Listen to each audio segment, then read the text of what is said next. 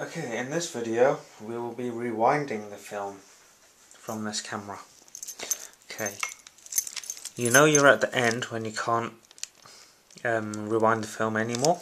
So what you need to do is press this button underneath and just get your rewind knob and just keep and just rewind the film in. If you are going to do your own developing um, it's best to leave the leader hanging out so you don't need to um, break open the cartridge, the canister. And by that you can you'll be able to hear it when it releases off this spool. Should be able to hear it. Listen carefully.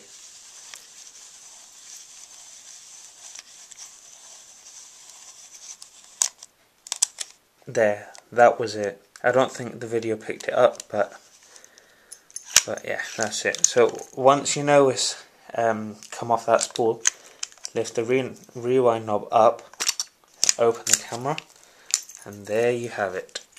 Your film.